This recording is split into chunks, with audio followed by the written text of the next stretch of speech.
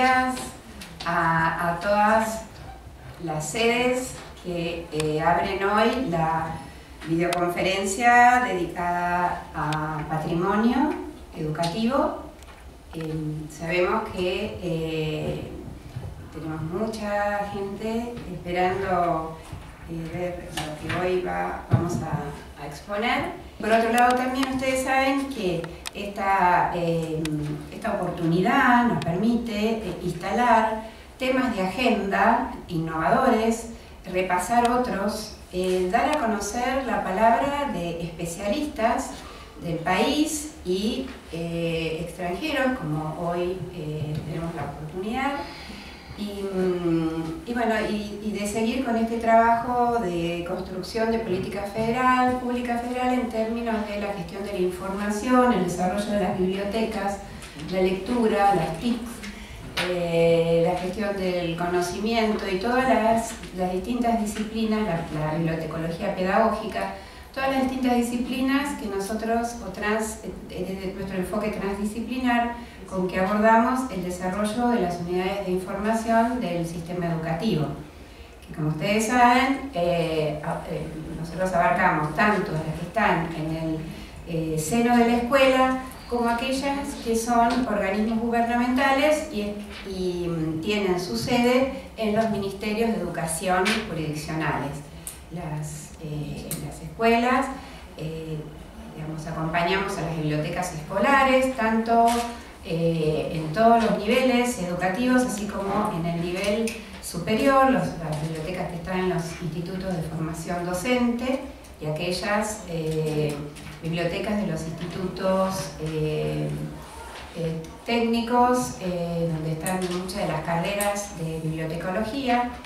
y dentro de lo que es el Estado, los centros de documentación educativa y las bibliotecas pedagógicas, algunas con redes que, este, que tienen, digamos, que cubren bastantes comunidades en, esa provincia. Em, bueno, el programa de hoy, como ustedes saben, es también la undécima jornada, coincidimos. Aquí eh, me acompaña Mariana Alcobre, ustedes saben que es quien coordina el programa MEDAR, y también eh, ahora eh, tiene a cargo toda la línea de investigación, la sala americana, donde nosotros este, trabajamos, recibimos, eh, generamos una información y, un acceso especial para los investigadores nacionales, eh, extranjeros, aquellos que vienen a hacer stage o estados de investigación, pero también siguiendo un concepto amplio de investigación, el concepto de que puede venir, eh, digamos, gente de la sala general, docentes, universitarios, hasta papás con chicos que quieren ver libros de lectura del abuelo o un libro de arte, libros que se, eh, se muestran o se consultan físicamente en sala americana. Entonces también hay una línea de atención eh, especial para lo que nosotros llamamos, bueno, los investigadores en acción, los, los pequeños investigadores, eh, y eso hace que mm, haya una circulación de ideas, digamos, mucho más democratizada. Em, y bueno, hoy eh, vamos a trabajar eh, justamente el, área de las bibliotecas, la preservación del conocimiento, de las ideas, la preservación de los, archivos culturales. Siempre que trabajamos en esta área, trabajamos en lo que es lo material e inmaterial, o lo tangible e intangible.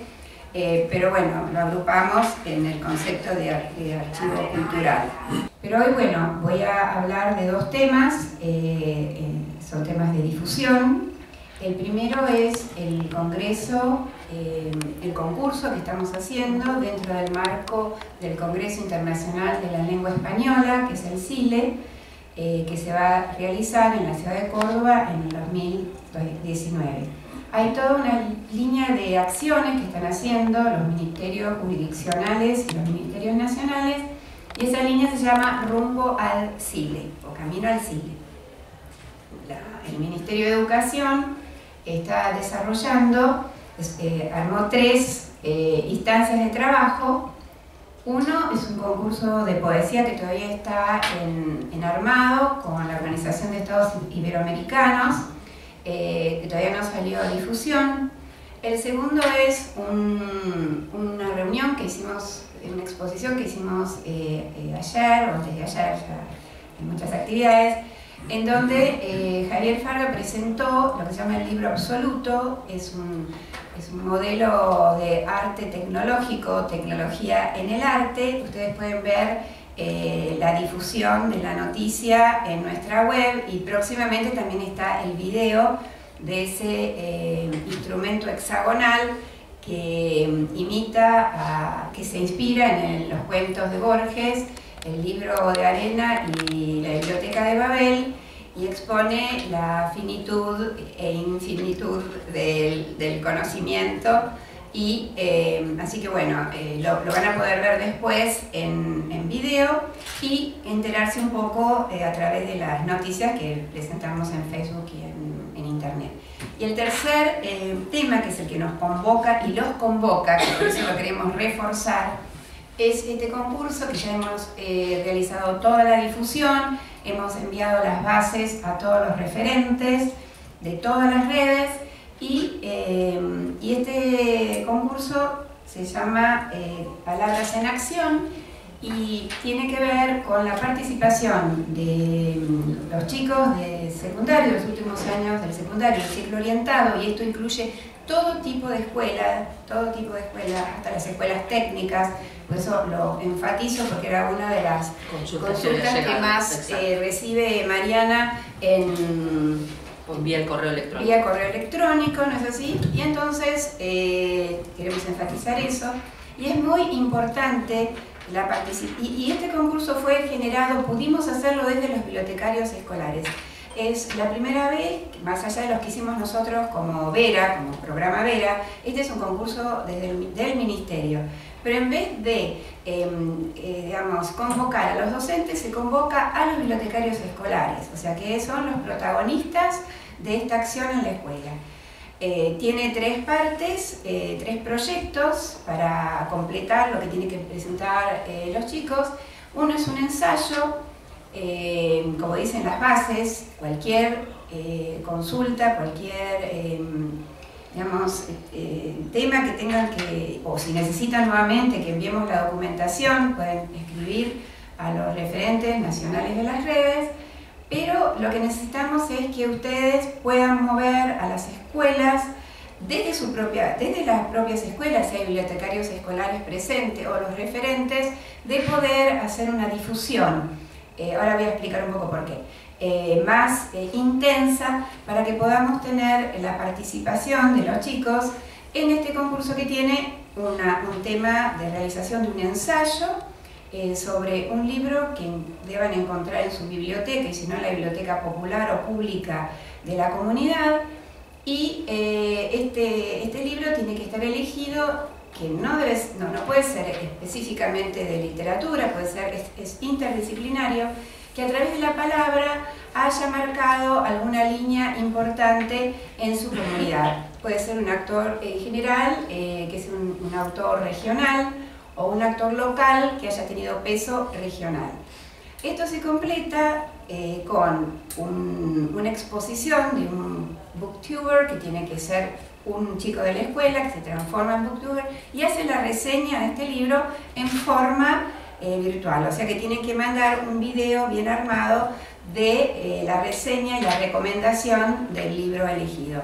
Y la tercera fase es la realización de una campaña en redes sociales em, con toda su diagramación, todas las instrucciones están en, las bases, no voy a hacerlas acá, eh, que completaría entonces este paquete, esta trilogía de tres piezas que hace eh, que los chicos tengan que trabajar en equipo, en forma colaborativa y con profesores de distintas áreas, ¿no es así? Bueno,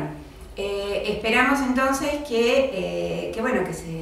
las escuelas eh, lo, realicen. Hay una, ustedes saben muchas veces que dentro del sistema educativo se necesita como una señal del inspector distrital o eh, de que el director esté convencido eh, para poder generar ante todas las cosas que tienen que tener en la escuela eh, todas las actividades, todo lo que, todos los programas, viene la maratón de la lectura, la semana de la lectura, las escuelas escritoras, o sea, están inmersos en, en distintas actividades. Pero es importante porque hay un buen premio, hay un premio en dinero para la biblioteca, eh, son tres premios, que eso bueno, puede ser un buen incentivo también para participar eh, y destacarse, porque el premio se va a dar en, en, ese ámbito tan importante que es el CILE, en Córdoba, ¿no es así? Eh, donde van a venir expertos de, todo el mundo para hablar y exponer sobre la lengua española y en, dentro de ese espacio se van a entregar los premios también, así que es un pedestal interesante para,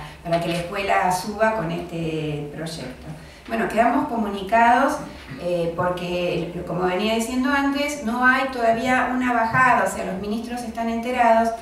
pero no, eh, no se ha hecho y hemos enviado cartas a los secretarios, subsecretarios, Manuel Vidal, el, nuestro jefe, digamos, también ha firmado las cartas para todos. Los directores, de, desde donde ustedes dependen, directores o subsecretarios, también tienen las cartas con las bases, pero no está como vacío ese hueco entre la autoridad y las líneas que permiten, eh, que son todas las líneas de inspección, que permiten esa fluida recomendación o bajada de la información al terreno escolar. Bueno, por eso les recomendamos que se muevan, que averigüen y estamos acá a disposición. El correo es palabras en acción. Sí, el correo es palabras en acción arroba educación.gov.ar. Igualmente ustedes ingresando a la página web de la biblioteca van a ver que justamente el principal banner los va a remitir al concurso, sí. así que ahí pueden encontrar mayor información. Bueno, y el, el, para ir eh, cerrando y respetar los, los, tiempos, también le quería comentar, vieron que hemos estado hablando de, de, esta, de esta movida que estamos haciendo desde el Ministerio de Ciencia y Tecnología de la Nación, eh, en donde desde la Secretaría de Innovación Tecnológica eh, se convino a hacer, eh, generar un sistema nacional de documentación histórico y más que iba a llevar después a la creación de un sistema nacional de archivos del cual no tenemos. bueno, esto ha llevado su tiempo, yo les he venido informando de las distintas instancias eh, y justamente la, semana pasada se pudo firmar el de, digamos, la resolución de, de, la formalidad de este sistema. Hay muchas instituciones trabajando, la Biblioteca Nacional, nosotros, el Archivo General de la Nación, los archivos militares, archivos de, de, un montón de universidades del, del país, etc. Y eh, en este sentido, también les presentamos eh, oportunamente los formularios que estuvimos haciendo, porque uno de los primeros pasos es la adhesión de todos los archivos, es así, escolares, eh, personales, está abierto también a los archivos personales, institucionales, de todos los niveles jurisdiccionales. Esta ficha de adhesión va a permitir conocer digamos, la cantidad o el, esta, el, un estado de los archivos eh, que existen en todo el país. Fases, la inicial, que es para que todas las instituciones, aún las más pequeñas, puedan completar. Esto fue una lucha bastante importante como para que este, se, se pudiera trasladar al, al llenado de la data de estos archivos a, desde una biblioteca escolar que tiene un archivo pequeño pero valioso, ¿no es así? Entonces ahí estaba la fuerza, o sea, y que también como ítem, que el otro día también se habían olvidado de poner, poner en el ítem que sale para describir el archivo, ¿no? la, la barra, archivos escolares, para que no cayera en otros otra vez. Entonces, bueno, eh, y después tiene una segunda fase, eso es para la adhesión, o sea que va a ser fácil y cuando esté listo, que ya estamos en lo último, se va a hacer una, eh, una difusión y nosotros por supuesto lo enviaremos para que eh, desde el programa Archivos y Museos, o MEDAR o los centros de documentación, trabajando en conjunto, podamos difundirlo en la jurisdicción. Eh, em, por otro lado, en la parte media, eh, también, eh, digamos, esto está, eh, se trabaja con las normas ISAG, entonces mm. se sigue paso por paso el formulario, pero un poco más ablandado, digamos, porque si no sería muy estructurado, más amigable. Entonces, bueno, estuvimos trabajando muchísimo para lograr eso. Entonces, la segunda línea de llenado del formulario, que implica ya mucha data, eh, la primera línea es de adhesión y de capacitación básica. La segunda línea es si se puede completar. Ustedes completan todo, obvio, porque puede haber algún archivo de una escuela que, bueno, que ya está trabajado y es, importante. La segunda línea es la capacitación media, que es para obtener subsidios, para hacer capacitaciones eh, regionales, eh, interprovinciales, eh, becas, etc. Y, la, y la tercera línea eh, implica ya el poder eh, pedir, em, digamos, recursos informáticos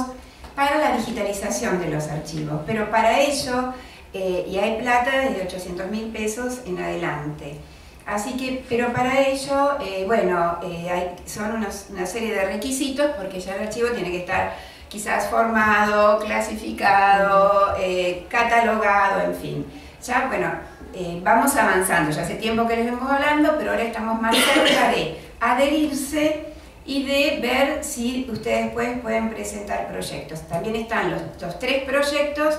para, y con los requisitos para pedir este, subsidios, o sea que desde un, uno chico que quiere hacer una capacitación interna,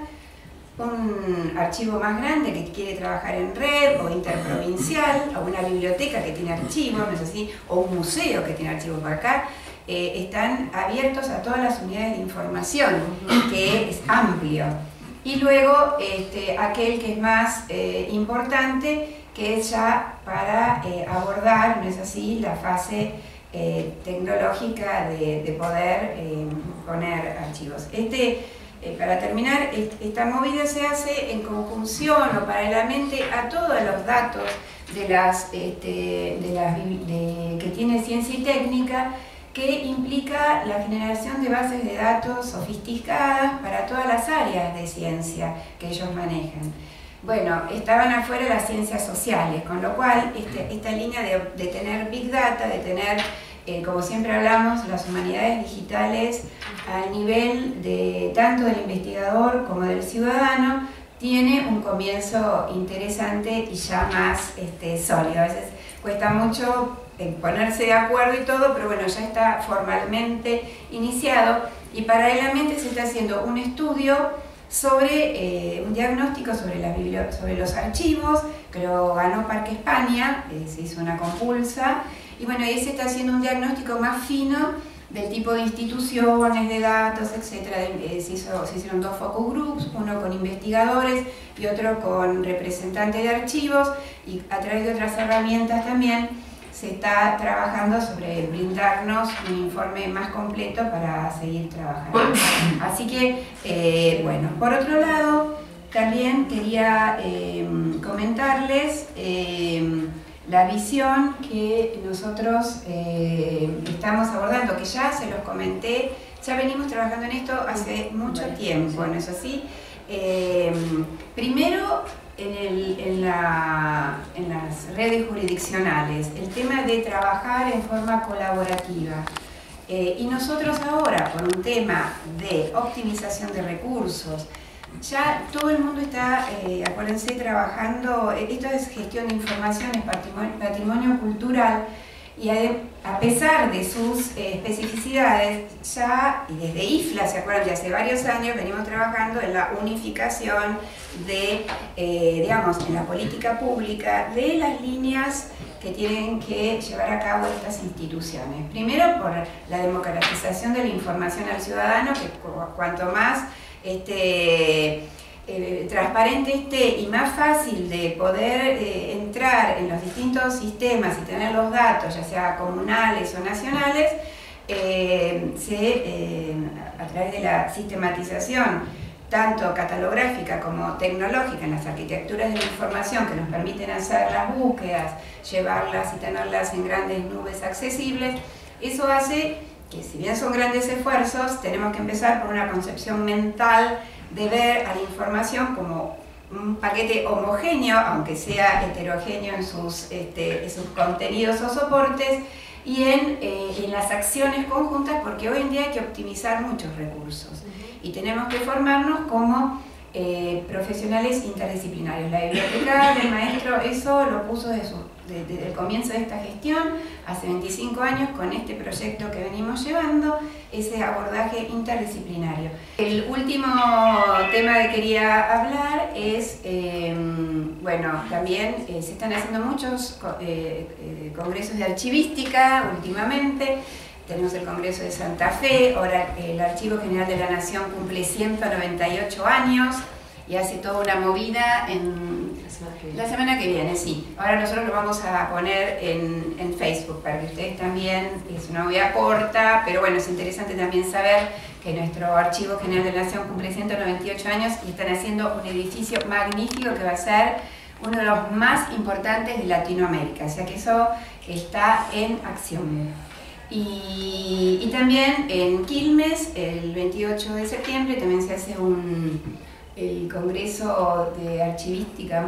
eh, Provincial, es el que va a reunir todos los archivos municipales, y con la participación eh, y el apoyo del Ministerio